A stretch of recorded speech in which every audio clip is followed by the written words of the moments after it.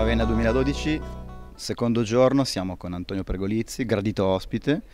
Eh, ieri abbiamo avuto Raffaele Cantone, è stata una presenza importante, insomma, ha dato un segno, ha parlato anche di, di dati. Tu di dati ne conosci? Perché comunque sei responsabile del rapporto Ecomafia per Lega Ambiente. 16 miliardi di euro di fatturato di attività dolose. È possibile?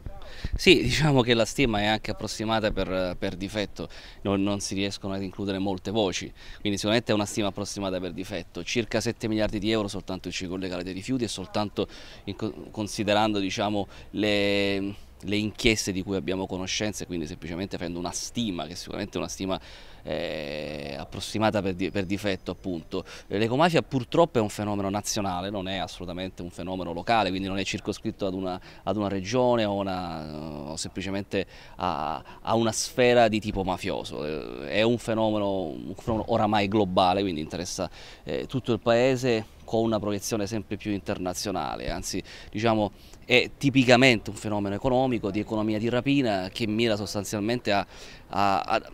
a privatizzare un bene collettivo che, che l'ambiente a scopi, a scopi, privati. I settori nei quali insomma, la criminalità ambientale, perché è più corretto parlare di criminalità ambientale, sono i più, i più svariati, quindi dal ciclo legale del cemento al ciclo legale dei rifiuti, ma anche racket animali, archeomafie, furti d'acqua, incendi, agromafie, quindi l'intero spettro dell'illegalità ambientale che ogni anno sicuramente saccheggia l'ambiente, uccide bellezza, mina pesantemente la salute dei, dei cittadini e si fa, si fa forte del fatto che per i reati ambientali ambientali si considerano sempre reati senza vittime ben definite, perché anche la difficoltà di poter individuare le vittime, come nei casi di inquinamento da, da rifiuti, sicuramente ha dato una mano a, ai criminali ambientali. E anche questo diciamo, è, è alla causa di una normativa eh, ambientale che è ancora carente sotto tutti i punti di vista, una normativa che non è assolutamente, non ha nessuna capacità deterrente, che, che sicuramente prevede delle sanzioni ridicole, parliamo soprattutto di, di, di, di piccole contravvenzioni che fino ad oggi hanno garantito la sostanziale impunità, fatta eccezione per l'unico delitto ambientale che è il traffico organizzato di rifiuti che sicuramente ha dato dei risultati straordinari. E se oggi possiamo conoscere il vero volto dei trafficanti di rifiuti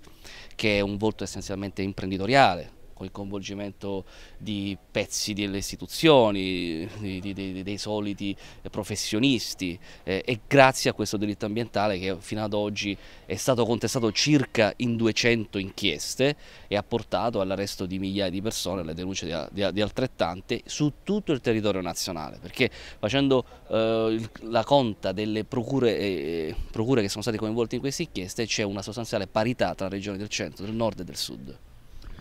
Senti, domani è un altro momento importante, parliamo di rifiuti con Lorenzo Pin, con te, con Newman, ehm, un appuntamento importante direi tra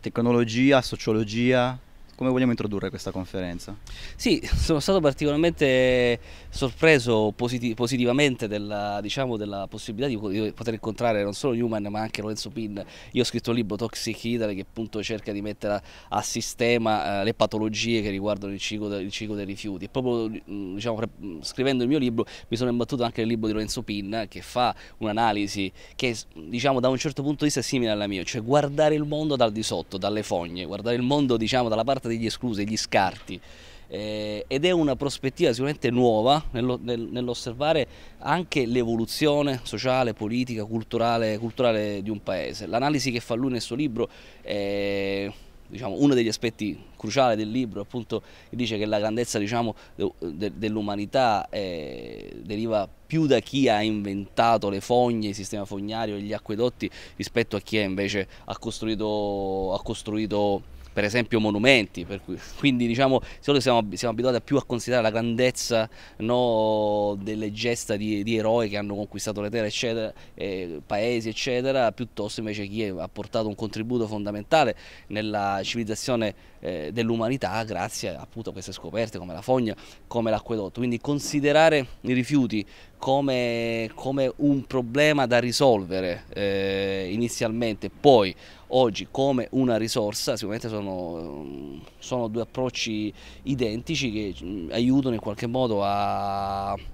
a guardare alla, alla questione dei, dei, rifiuti in un'altra, un'altra angolazione. Eh, purtroppo fino ad oggi un tare culturale, eh, che dice, come dicevo prima, che si sono, si sono, um, si sono eh, proiettate anche in campo legislativo, hanno fanno sì che considerino i rifiuti come, come semplicemente un problema, un qualcosa da allontanare dalla, dalla,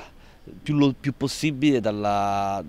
diciamo, dalle comunità, mentre i rifiuti sono una straordinaria risorsa, sono uno dei pochi settori eh, che consente di far andare avanti eh, la produzione, creano posti di lavoro e, si e sicuramente eliminano oh, con una gestione sana, efficiente, a partire da raccolta differenziata, a partire da politiche di riduzione di riutilizzo, anche l'eliminazione di conflitti sociali. Le discariche stanno diventando una delle ragioni più forti dei conflitti sociali. Ecco, quindi vedere i rifiuti come una risorsa e vedere insomma, alla grandezza di chi ha considerato i rifiuti storicamente come una questione da inquadrare anche da un punto di vista scientifico e da risolvere sicuramente sono due approcci molto, molto, molto simili che ci aiutano appunto a capire meglio questo mondo strano dei rifiuti che fino ad oggi è stato relegato lontano insomma anche dalle, dalle discussioni accademiche, scientifiche e quant'altro. La discarica è stato il luogo dove ci si è potuto dimenticare dell'esistenza dei rifiuti. Purtroppo come dire, il mondo si fa sempre più piccolo e questi rifiuti adesso come un boomerang ritornano, un po' come aveva profetizzato utilizzato Calvino negli anni 70. Grazie, quindi perfetta introduzione per la conferenza di, di domani, di domani pomeriggio, quindi Ravenna 2012 fare conti con l'ambiente con Antonio Pergolizzi, grazie. Grazie a voi, ciao.